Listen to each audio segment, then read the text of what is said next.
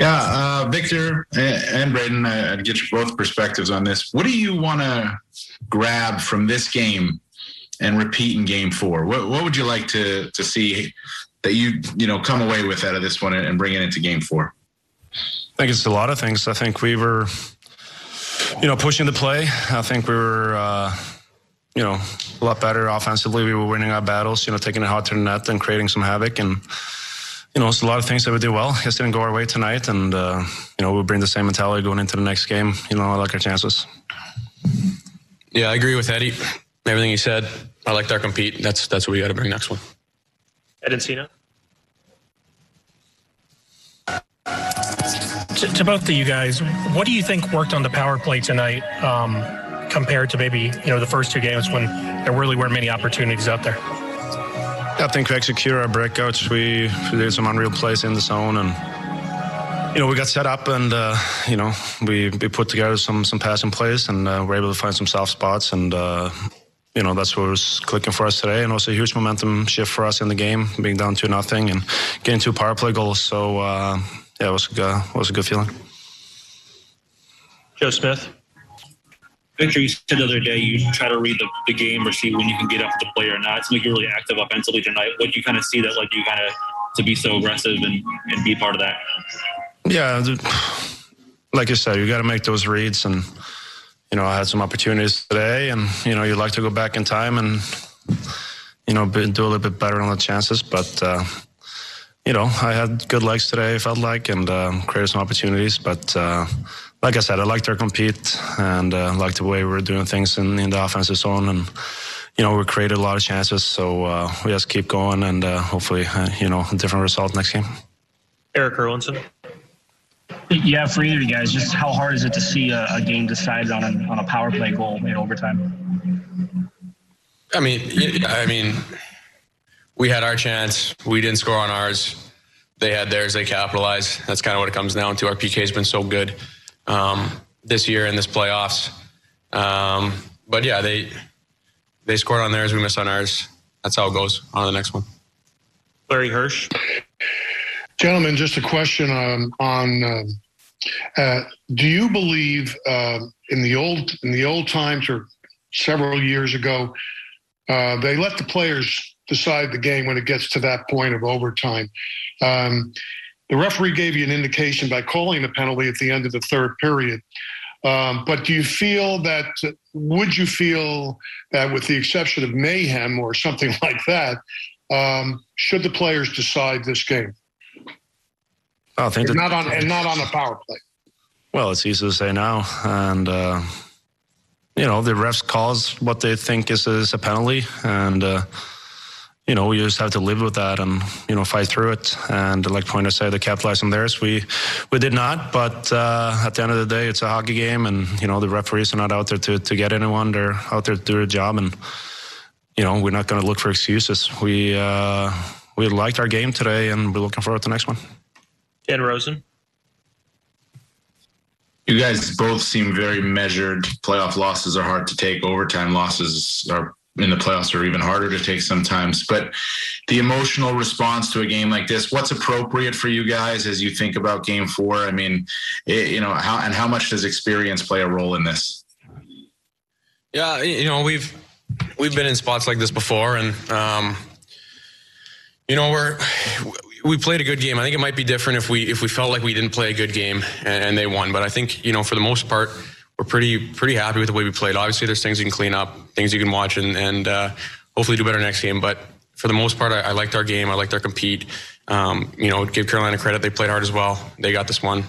Um, you know, we got to be sharp for the next one.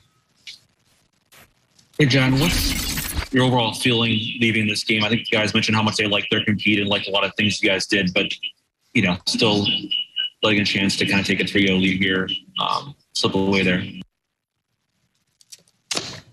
It's a seven game series, Joe. Uh, want to see growth in your team? We played well. Bottom line is we didn't win. But a lot of good things happened. We had our chances. We can't complain. Um, you know, our, we can't sit here and say our power play didn't come up big. They scored two big goals for us, and um, they just got the last one. And so Uh, I mean, probably what the players said is right, and um, it's what makes best of seven series fun. They they rarely go down in sweeps, and they're like when you get to the final eight, like they're a hell of a team, and we did pretty much everything we wanted to do except for get one more goal than them, and uh, so come back with that effort again and again and again, and um, can ask for more. Ed Encina. Jon, what did what did you like about the power play tonight? Um, obviously, like you said, scored two goals, um, especially given you know kind of what uh, you know what we saw in the first couple games in terms of just not getting many Oh, shots. they've adjusted. They're they're moving pucks, and you know we can deal with the. They know what they're to expect now, and you can see what we can do with it. That's why the the PP's been great in, in the playoffs so far, and you know even at the at the end, um, I couldn't ask for better looks. It just they didn't go in the net, so power play is great. Dan Rosen. Jon, in a, in a weird way, you lose, but was this your best game of the three so far? I don't know. Like, if you're in a seven game series and you play unbelievable game seven and you say that's your best game of the series, or if you're in game seven and you don't play very well but you win the game, is that your best game of the series? You know, No, no, you're in game three. in the end, you're you're the goal's to win the game, um, and you want to play well uh, doing it. But like we've we've had a pretty good series here. I just I think our team's gotten better every every, every single game, and that's what I like. Um, so if we keep limiting the chances they get, and and I think our plan is we like what's going on. Our team's getting better um, we just got to keep going. So you, you, can't hang your head on these. You, you just got to turn the page and go to the next one. Uh, the playoffs are big damn roller coaster, and uh, uh, you can't get too excited when you're high. You can't get too low when it's low, and you just got to keep trusting your process. And our guys have done a hell of a job doing that, and expect they'll do it again. Erik Erlendsson. How important was it to kind of establish zone time tonight? You didn't have a ton of zone time in the first few games, but to kind of create and you know get your forecheck going. Yeah, we just we just got to keep leaning on them, and we I felt we got stronger, and um, but uh, you know I don't know what's going on in their head. They came back and and ended up winning the game. So um, as I said, that's the goal. But a lot of the things we put in place, the players implemented. I thought they did a hell of a job. We just again fell one short. Larry Hirsch. Jon, um, my regards passed along from Stan Fischler to you. I wanted, wanted to say hello. Oh, Um, love Jon, in the next game, do you, when you look at the film, um, will you look at that neutral zone? Uh, there were there were maybe three, four, five odd man rushes by uh, Carolina, given they're a very fast team and everything like that. Uh, one goal was scored on a breakaway. Uh, do you want to tighten that that neutral zone up a little bit? Yeah, we've been pretty good at that. Like the heck of a play they made. We um, to you know to tip that right on the tape. I mean, he, I don't know how many times he's going to do that. So give them credit for making one heck of a play under pressure, but.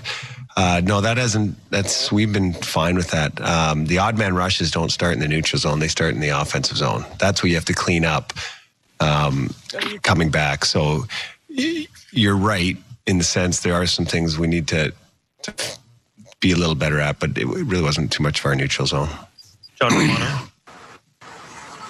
Jon, is a penalty a penalty no matter when it happens in a game, or should the threshold be higher in overtime?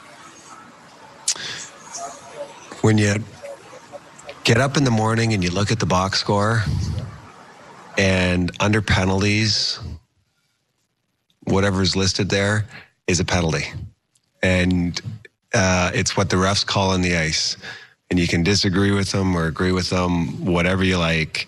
Um, in the record books all these penalties today are going to be called penalties whether you agree with them or not. So um, you got to, you know, when you get your chances in the power play, you got to score on them. And when you are down, you got to try and kill them off. And uh, did that, you know, really affect the game? Yeah, it was the overtime winner was on the power play, but we've done a pretty d- darn good job against them. And um, you know, it took a screen tip, the one to squeeze through. So, um, but you know, to answer your question about the threshold.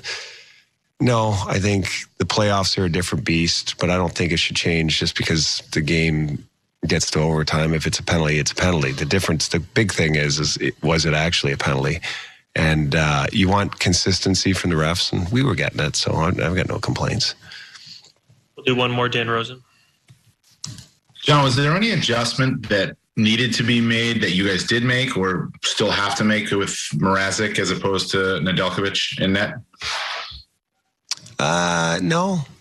I mean, I think uh, Nedeljkovic, he can he comes out and plays the puck probably a lot more than uh, Mrazek does. But I mean, we've seen Mrazek for years, um, so he's he's very familiar with this building, playing us in the playoffs. You know, with his days in Detroit, and so uh, no, we've we got a good book on him. But he, you know, he was uh, he was rested, so he had a he had a pretty good game tonight.